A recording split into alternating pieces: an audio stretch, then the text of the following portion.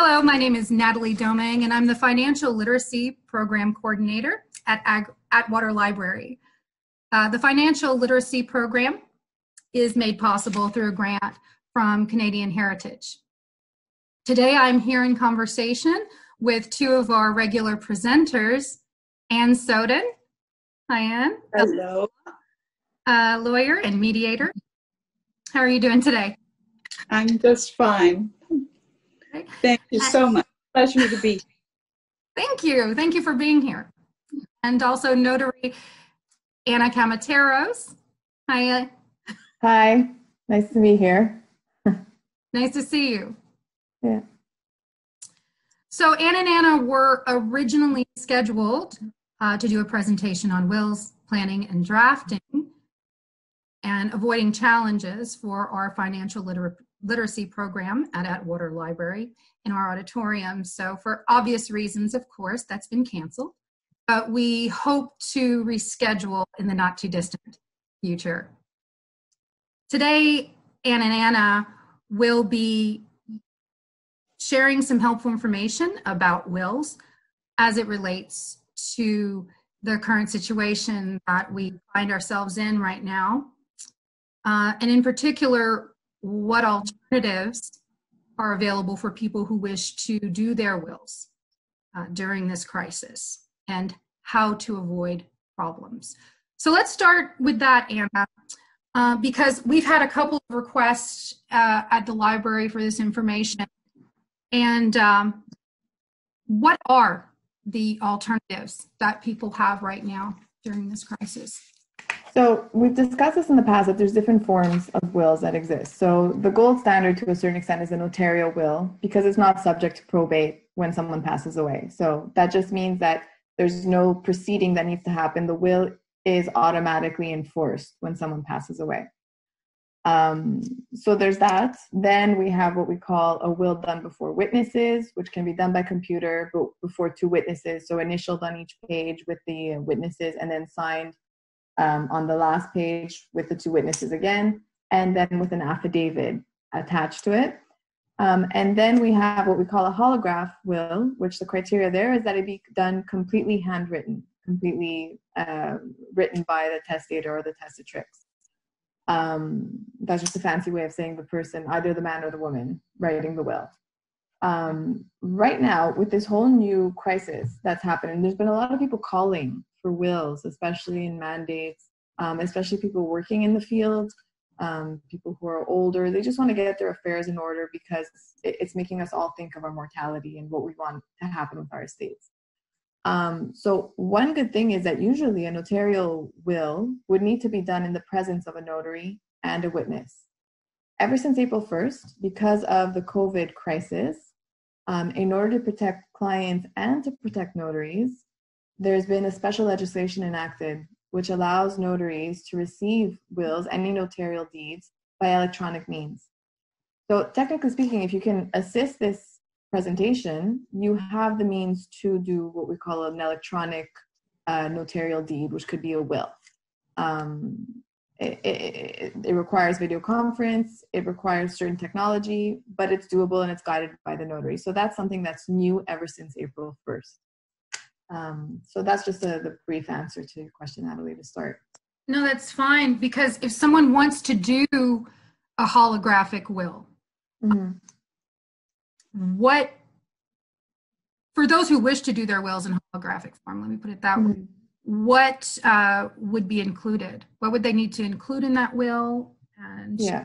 consult an estate uh, lawyer or a notary? Yeah, so my suggestion would be at this point in time, with what we're living in, I don't see the will done before two witnesses as being an option. It would either be a notarial will or a holograph simple will that would be done with the assistance, at least drafted with the assistance of a notary or an estate lawyer, um, as a stopgap measure, let's say, until this crisis is over. So the main things to include in a holograph will, we can keep it simple, um, so would be the choice of a liquidator, an estate liquidator. Uh, that's the person who's in charge of liquidating the estate, so paying off the debts when someone passes away, um, closing the accounts, selling properties if necessary, funneling the funds into an estate account, paying taxes, and then once all that is done, funneling everything that's left to the heirs or the heir. Um, a liquidator can be the same person as the heir. You can have several. Ideally, you would advise them in advance so that there wouldn't be any surprises when, and we'll we'll funnel into that discussion later on as well. Um, and then it would be who would be your heirs? Who do you want to receive your estate? I wouldn't suggest creating complex structures in a holograph will like trust. I, I would keep it very simple and clear cut. So I name such and such person as my estate liquidator, and I wish my estate to be shared amongst these people in equal shares. That's a simple holograph will. If that's also what you want, then you can do that right now as a stopgap measure, like I mentioned.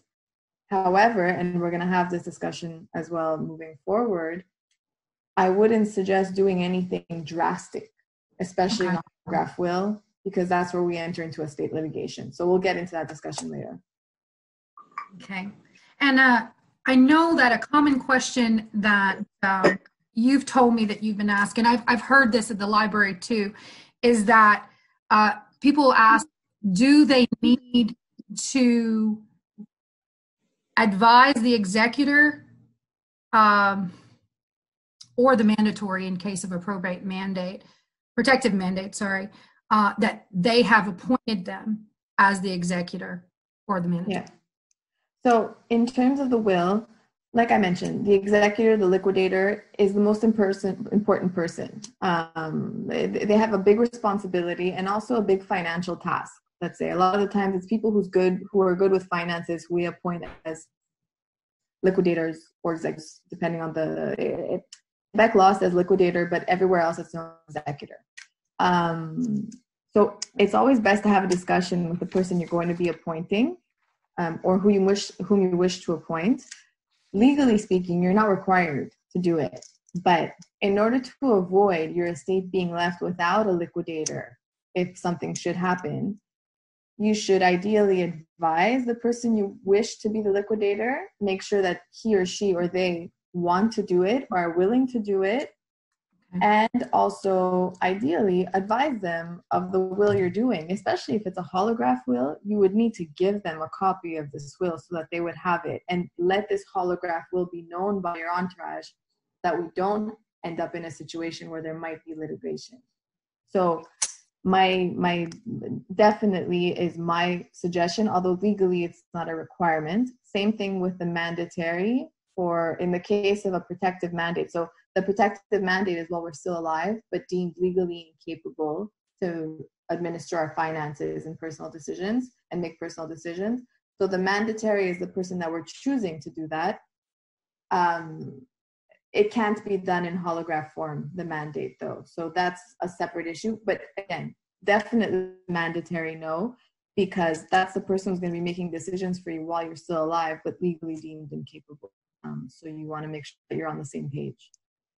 Yeah, and it's so important to, to let the people in your family know these things because, well, that really leads right into one of the things that I know uh, you wanted to talk about, Ann Soden, um, the high cost of not talking, uh, which causes of estate litigation. So let's talk about that. What could what uh, what is the high cost of not talking, and uh, what are some causes, other causes of estate litigation? Mm-hmm. Well, as a lawyer specializing in elder law, in the field of elder law, I've dealt with a number of estate cases that are referred to me simply because the either the content of the testator's will or his question of his or her capacity has been challenged by a family member or by a third party. Mm.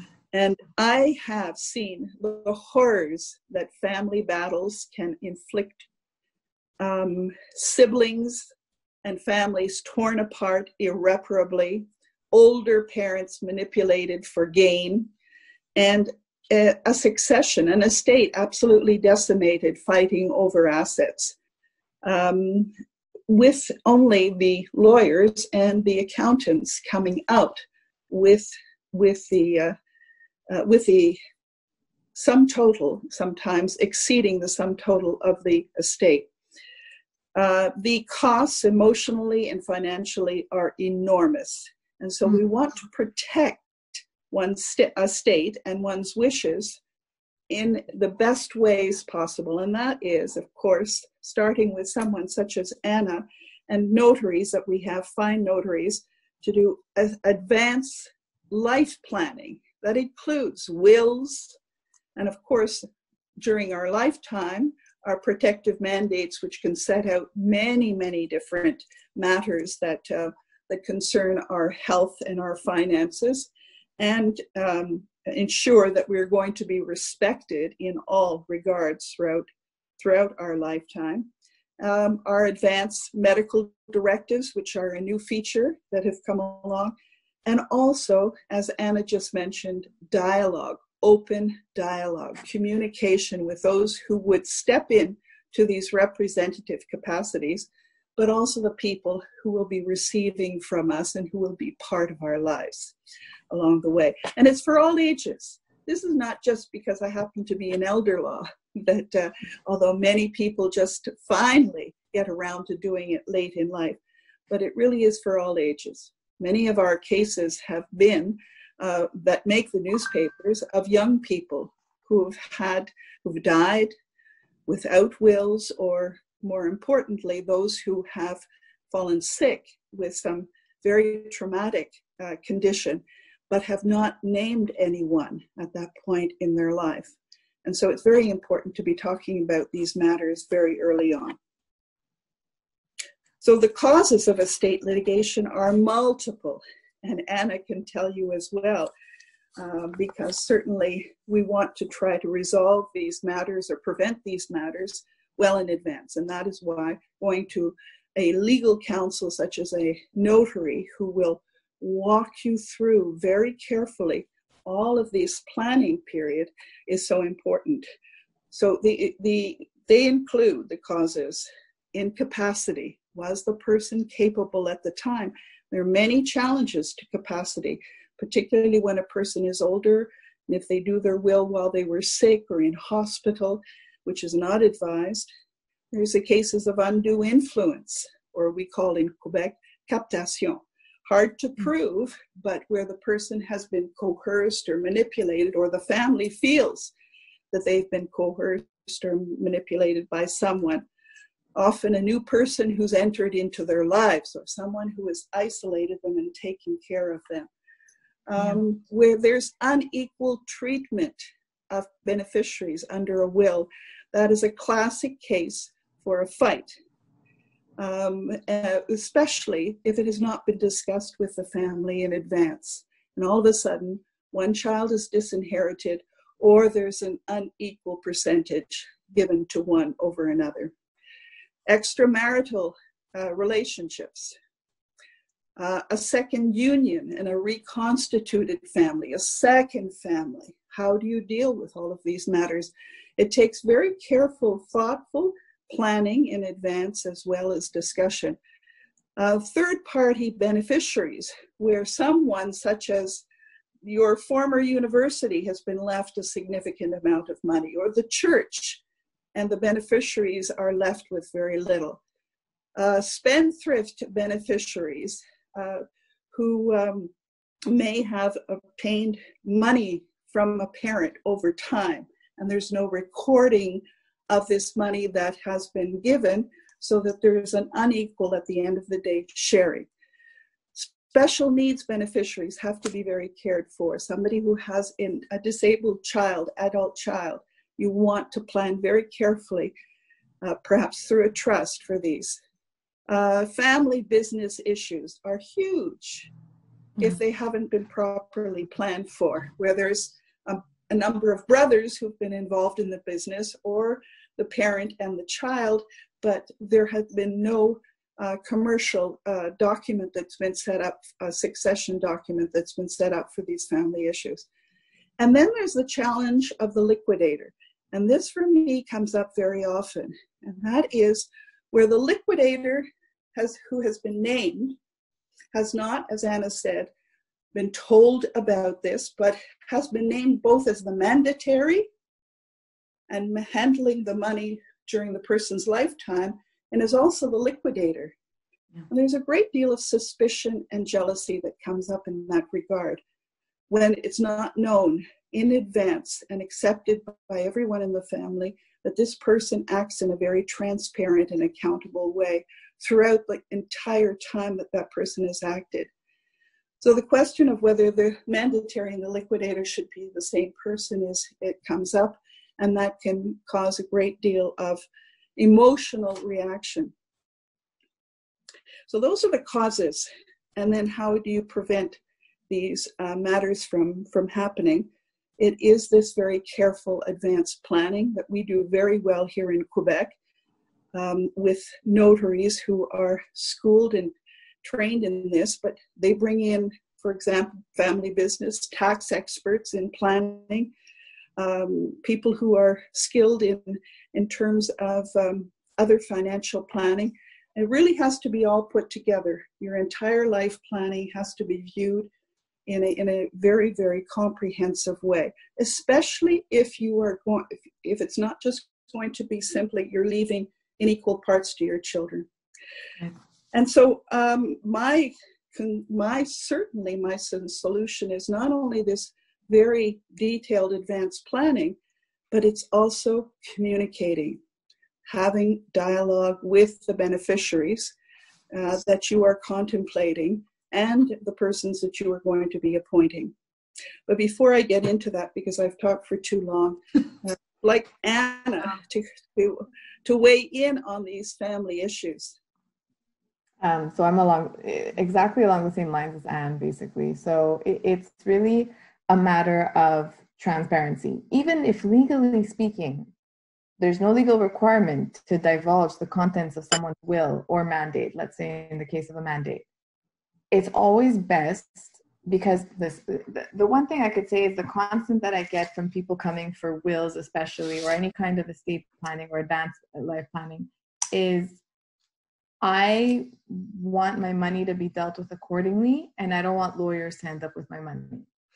And yet, we see more and more estate litigation happening, which I find is very sad, especially for people who've worked their entire lives to and really save their entire lives to have something to leave for their family as a legacy. Um, and then for this end up in the state litigation. So, again, just to reiterate, transparency is key. And just to go back to what I was talking about before, when it comes to, uh, when I, I, say it with a lot of caution, this whole idea of doing a holograph will right now, um, it's really just as a stopgap measure that I'm saying that it could be possible. Um, so, it, and it would have to be done only in the simplest of cases.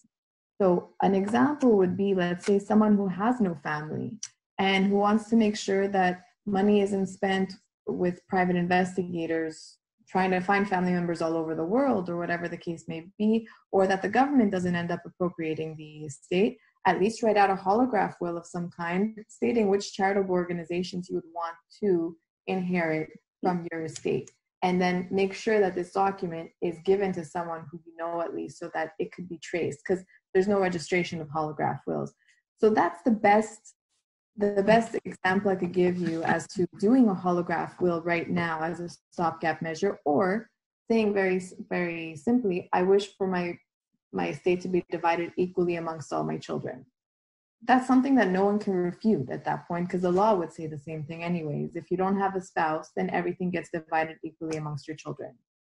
Um, so, the, the, other than that, I would really say if you want to do anything drastic, disinheriting a child as opposed to other children is something drastic. Um, it should be, the, the right advice should be given, it should be discussed, and ideally, it should be divulged before someone passes away because that's when we get into feelings, even if that child has been cut off from the family and is quote unquote a difficult child. It's it's not something that you want to surprise a close family member with when you pass away when all those feelings uh, surface as well. Yes. Mm-hmm. So, Ann, uh, were, were, there any other costs of estate litigation that you wanted to go through? Um, well, the costs alone, financially and emotionally, are so charged that it's to be avoided at, at all costs. And even if you are not, and, and Anna emphasized, you know, you're doing an unusual will or you have complex issues involved with it, it's so important to speak to your family because even in a harmonious family, I have seen cases, many cases, of people who get along just fine, and yet they all love absolutely uh, everything in the family home. yeah. And you want to hear from your parents saying, look, we haven't itemized anything for anybody in this family because we know that you as children are just going to get along just fine in terms of, of, of sharing all of this in due course. Okay?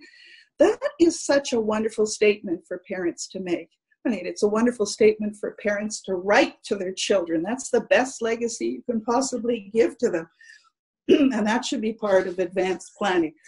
Uh, so even where it's a, a, a very happy family, uh, such matters as the cottage, how do you deal with the cottage?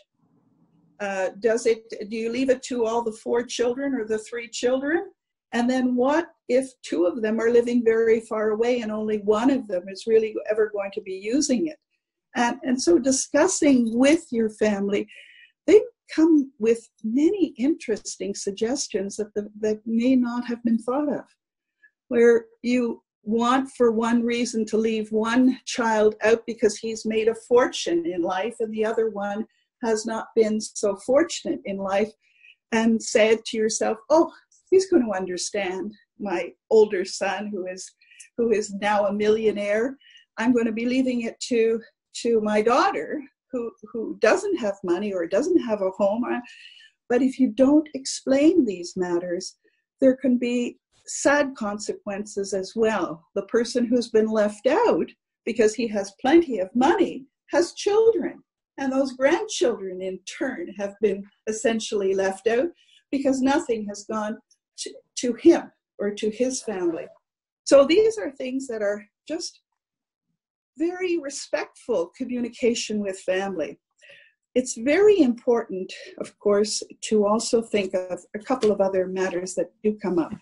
Um, when I say capacity is often challenged, it's very important if you are if you have any kind of, of problems or uncertainties with your family uh, and what you're planning to do with your um, with your settling of your estate, meaning giving of your uh, dividing of your property under the will, that you have your capacity uh, tested.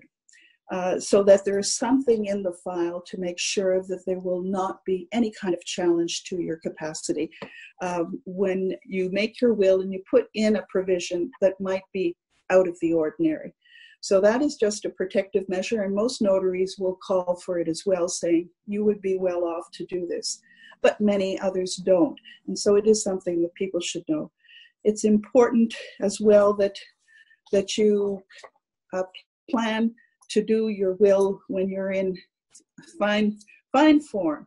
That you're not doing it at the last minute in a, when you're sick, because that certainly can raise uh, challenges, and that you again, these documenting of gifts, because there is a great deal of jealousy and anger, and even cases taken where there's an accounting that is asked for, and a questioning of who got what in the past, and whether mom and dad were in a position to be making those gifts at the relevant time. So make sure that to, to your children that any important gifts and loans are documented so that they know in advance we want everyone to be treated equally ultimately. I can't tell you that the number of cases that I have of this nature that happen while the person is still alive, where there's questions of exploitation, somebody taking money or appropriating money because he feels entitled, he's been the caregiver. Uh, so those are the matters that really should be very carefully thought out. And so the family meetings are certainly highly recommended with a professional who is guiding and mediating, mediating the meeting or facilitating the meeting, and that they walk through all of these steps. Just as a parting remark, I was telling clients of mine that we've just settled a, an estate matter that went on for five years, very litigious, that involved involved them terribly emotionally, not financially, as it turned out, because our clinic helped them, but uh, in that particular case because it was just a horrendous matter. But due to the fact that they had this very, very difficult time emotionally uh, over these past five years, they said, with your guidance and your constant repeating the importance of family meetings, because we're in a second union situation ourselves, this is a second marriage, we have met with our children and we have worked out everything on both sides of the family so that there is absolute acceptance by everybody in the family of what we've planned to do. And so that's yeah. that is the best possible outcome. And that's so important right now. Uh, com- communication and connection And it's probably actually one of the most challenging things to do right now. So i do thank you both uh, for communicating and connecting and sharing this information with our uh, library patrons and our viewing audience today. So, in closing, um, I'd just like to tell you both thank you. And thank you. Um, do you have any other parting comments to make? No, it's been a pleasure being here. keep safe, keep well. Oh, thank you both so yeah. much. So um, for our viewing audience, uh, we are going to, if you have any questions, we're going to include both Anna Kamateros and Ann Soden's email, or you can simply, um, you can simply email me, Natalie, at atwaterlibrary.com. Oh, sorry, dot .ca. Here's all the information here on the screen. And I just want to tell everybody thank you for watching. And thanks again to Atwater Library. And of course, thank you to Canadian Heritage uh, for making this possible through a grant. Stay tuned, stay in touch, and be well. Thank you. Thank you.